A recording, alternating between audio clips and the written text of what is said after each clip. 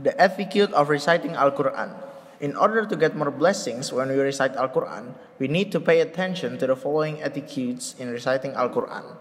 Firstly, it is recommended to purify from hadas, wear polite clothes, and clean teeth before reciting Al Quran. I do not like to mention the name of Allah unless it is on holy stage.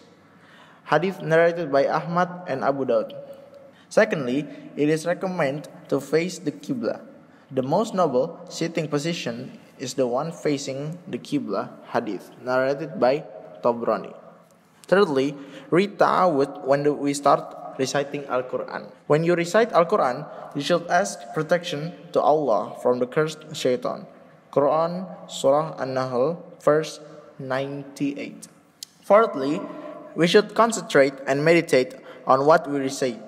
Why don't they contemplate the meaning of Al-Quran or have their hearts locked?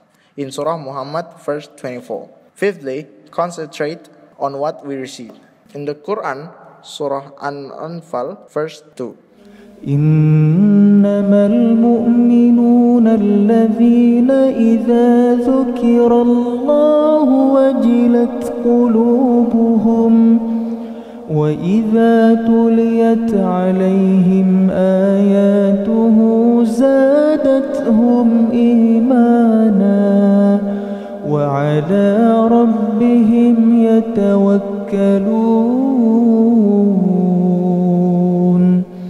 Sixthly, it's permissible to recite Al Quran while standing on a vehicle or lie down. The Quran, Surah Al Imran, verse 191. الذين يذكرون الله قياما وقعودا وعلى جنوبهم ويتفكرون في خلق السماوات والأرض Seventhly, recite correctly in clear and good voice. Al Muzammil, verse 4.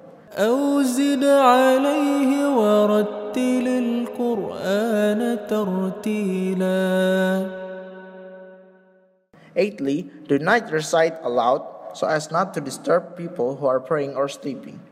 The person who prays in munajat with his God, so pay attention to the reciting he used for merit and do not compete with, with one another to harden the recitation. The hadith narrated by Malik. Ninthly, it is forbidden to complete reciting Al Quran for less than three days. People who recite Al Quran for less than three days will not be able to understand the verse. Tenthly, perform sujud tilawah when we are passing the sajadah verse.